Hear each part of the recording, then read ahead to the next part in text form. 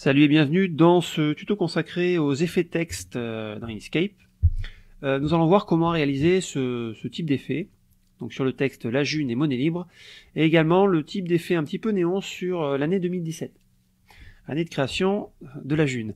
pour le fond, je ferai peut-être un, tuto à, part.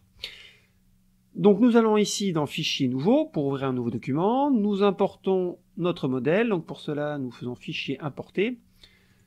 Nous importons le fichier modèle ici. Alors, modèle qui sera euh, à télécharger en bas de la vidéo. Je clique sur OK. Voilà. Je vais dans la fenêtre des calques. Je clique ici sur calque. Ici, nous avons donc le calque numéro 1 que nous allons renommer en calque modèle. Alors, modèle, j'appuie sur Entrée pour valider. Je le verrouille en cliquant sur le petit cadenas. Je clique sur le petit plus pour créer un nouveau calque sur lequel je vais écrire effet euh, texte effet. Allez hop. Et j'appuie sur Entrée pour valider. Alors le fond, on va tout simplement faire un petit rectangle noir. Donc je clique ici sur rectangle, euh, l'outil pardon, euh, créer des rectangles et des carrés. Donc par défaut, on a un fond rose avec un contour euh, bleu pâle. On peut changer ça tout de suite. Alors je clique ici sur la couleur noire. À ce moment-là, on voit que mon fond sera noir. Et pour enlever le contour, je clique sur Shift et la croix. Et à ce moment-là, vous voyez ici, j'ai aucun contour. Donc, je me mets à cet endroit-là à peu près. Je clique, je glisse. Voilà. Je vais donner les bonnes valeurs. Alors, je vais mettre une longueur à 155. Voilà, j'appuie sur Entrée pour valider. Et une hauteur à 100. Voilà, c'est parfait. Donc là-dessus, je vais taper mon texte, ou plutôt à côté. Donc je clique ici sur mon texte, je me mets un petit peu en dessous, et je vais taper par exemple monnaie libre. Monnaie, alors en majuscule.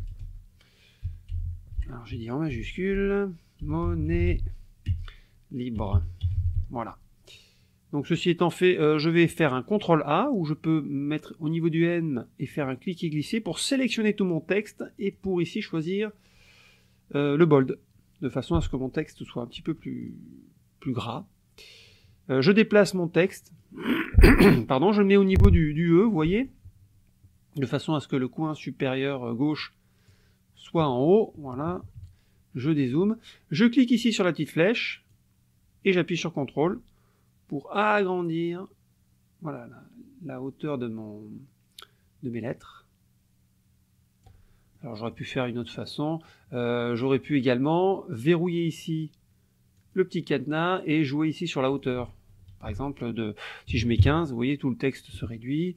Si je mets 20, automatiquement, ça, grossit. Quoi. On aurait pu également, une dernière chose, avec l'outil texte, donc je sélectionne l'outil texte, je me mets dans mon texte, je fais CTRL A, et j'aurais pu jouer ici sur, bien sûr, la, hauteur du texte. Quoi.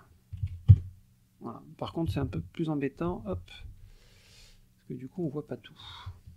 Bon voilà, plusieurs petites techniques. Donc là je vais maintenant récupérer tout simplement le dégradé du E. Euh, donc pour cela j'utilise l'outil pipette. Donc je clique sur l'outil pipette, je récupère la couleur bleue ici. À ce moment-là tout mon texte devient bleu.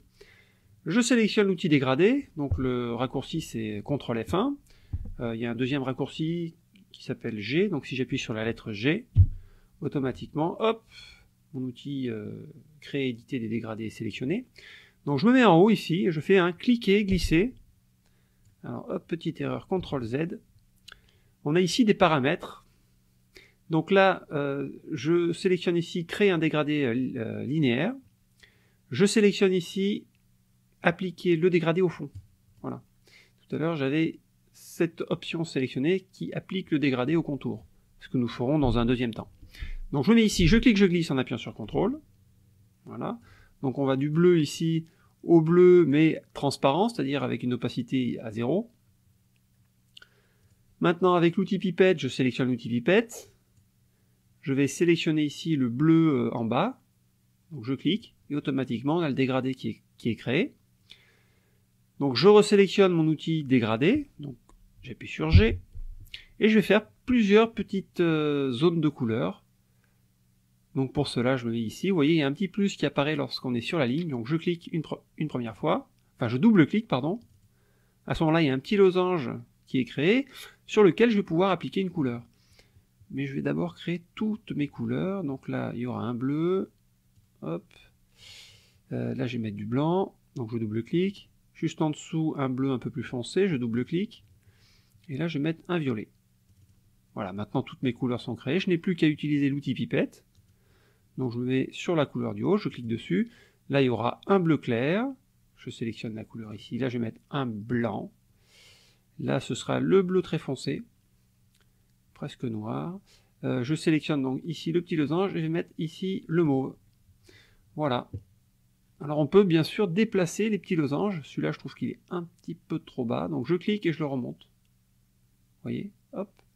Ce qui permet d'avoir voilà, une ligne un petit peu plus euh, démarquée, petit peu plus nette. Voilà. Il nous reste plus maintenant qu'à faire euh, le contour. Donc pour cela, ben, outil dégradé. On va sélectionner ici le contour. Alors peut-être le mieux, c'est que j'applique un contour d'abord à l'ensemble de mon texte. Donc j'appuie sur la flèche noire, ou F1. J'appuie sur Shift et je peux maintenant sélectionner, vous voyez, un contour très facilement. Donc peu importe, hein, là c'est pas important, mais comme ça on voit le contour. Maintenant on sélectionne l'outil euh, pipette, donc je clique dessus et je vais mettre sur mon contour la couleur bleue ici en haut. Donc j'appuie sur Shift, très important. Vous voyez, la petite pipette change. L'icône euh, euh, nous montre qu'on sélectionne maintenant la couleur sur le contour. Et je clique là-dessus. Et automatiquement, alors CTRL Z, il y a un problème. Voilà.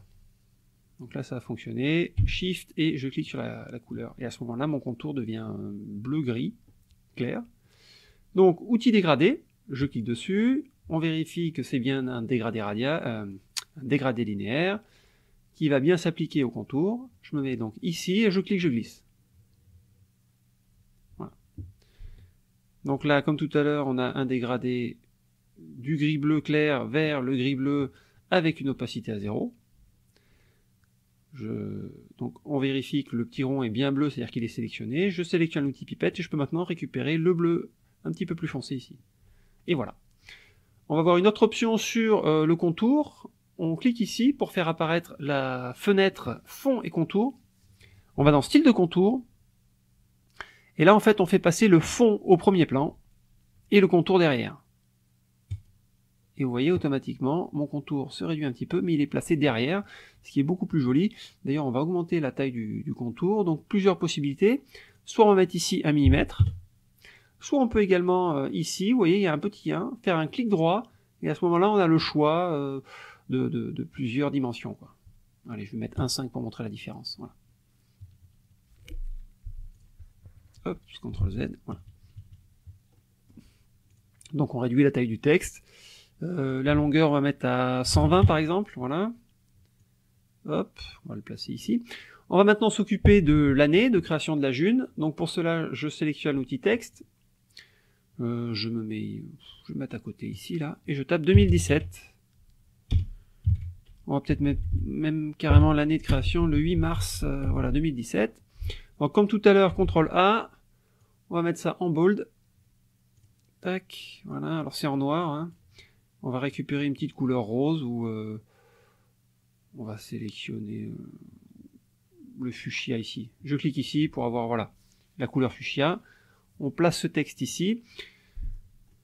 Donc on va le déformer un petit peu. Donc je clique sur mon texte. À ce moment-là, on a les, petites flèches qui changent de, qui changent de, comment dirais-je, de forme. Donc on va cliquer là-dessus, hop, de façon à pencher le texte un petit peu. Voilà. Et on va utiliser les effets euh, de filtre. Donc on va ici dans filtre, et on va utiliser le filtre euh, néon, donc filtre biseau, et on sélectionne néon. Alors là, on voit que ça marche pas du tout. Alors c'est normal, ce qu'il faut faire, on va agrandir ce texte. Donc je clique sur le texte, on a des, les, les flèches de redimensionnement, je clique sur la flèche, j'appuie sur CTRL et sur SHIFT pour vraiment grossir mon texte, mais alors énormément. Et on va réappliquer le filtre biseau néon. Voilà. Et maintenant on peut le réduire. Hop. Alors c'est pas vraiment encore ce que je souhaite obtenir. On va mettre ça comme ça. On va faire apparaître maintenant dans filtre l'éditeur de filtre. Et là, on va pouvoir jouer avec plein plein de paramètres. Enfin, on peut jouer avec plein de paramètres, mais nous, ce qui nous intéresse, c'est euh, celui-ci là, le composite, donc le deuxième en partant du haut. Et on va changer ici le mode opérateur. Au lieu de in, on va prendre XOR. Et à ce moment-là, ça a tendance à creuser un petit peu l'intérieur. Alors c'est pas vraiment ce que je voulais. Alors je vais recommencer. Je supprime. Je vais agrandir le texte. Voilà, comme ça, hop. Je refais le filtre bisonéon. Voilà, composite, et je choisis XOR. Voilà. Donc j'obtiens comme ça un effet beaucoup plus sympa. Hop.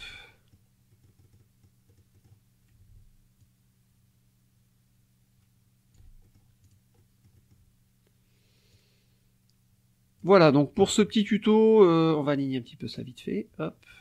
Donc je sélectionne tout. Je clique ici pour faire apparaître la fenêtre alignée distribuée. Par rapport au dernier élément sélectionné, il me semble que ça doit être le, rectangle derrière, et j'aligne tout ça verticalement. Voilà. Euh, peut-être grandir un peu ça.